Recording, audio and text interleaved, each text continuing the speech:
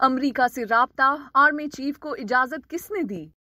अंसार अब्बासी का तजिया। Army chief Qamar Javed Bajwa ने आईएमएफ से फंड्स के जल्द अजरा के लिए वज़ीर आज़म शहबाज शरीफ की वाज इजाज़त के बाद ही अमरीकी हुकूमत से रबता किया था। सरकारी जराये के मुताबिक वज़ीर आज़म और आर्मी चीफ के दरमियान मुआशी सूरत हाल पर बात हुई थी और इस बातचीत के दौरान कुछ इकदाम पर इतफाक हुआ था। दीगर इकदाम के अलावा ये तजवीज भी दी गई कि आर्मी चीफ अमरीकी हुकूमत से रबता करें और अपना असर रसूख इस्तेमाल करते हुए दरख्वास्त करें कि आई एम फंड जल्द पाकिस्तान को फराहम किए जाएँ। वज़ीर आज़म ने आर्मी चीफ को इजाज़त दी और बातचीत के बाद उन्होंने मामले के हवाले से वज़ीर आज़म को मुतल किया सिविलियन और मिलिट्री क्यादत ने इस बात पर भी बात की कि मुल्क की मीशत को बहरान से कैसे निकाला जाए। अमरीकी इंतजामिया से रबता इन ऑप्शंस में से एक था जिनके हवाले से पाकिस्तानी हुकाम मुल्क की मुआशी चैलेंजेस से निकलने के लिए इकदाम कर रहे हैं। आर्मी चीफ ने अमरीका की डेप्यूटी वज़ीर खारजा वेंडी शर्मन से रबता करके उन्हें अपील की कि आईएमएफ से